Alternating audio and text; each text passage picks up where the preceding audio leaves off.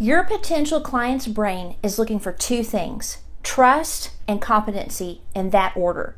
But how on earth do you build trust in the eight seconds you have to grab your potential client's attention?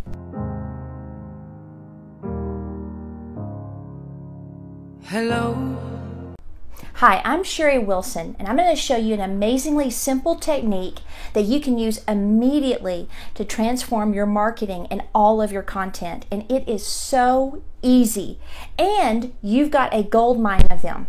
Can you guess what I'm talking about? I'll give you a hint Beanie Babies. Seriously, guys, you're going to love this training. Join me for the next Fast 45, September 26th at noon at the Chamber. We'll start at 12:10 on the dot and get ready to transform your marketing. Everything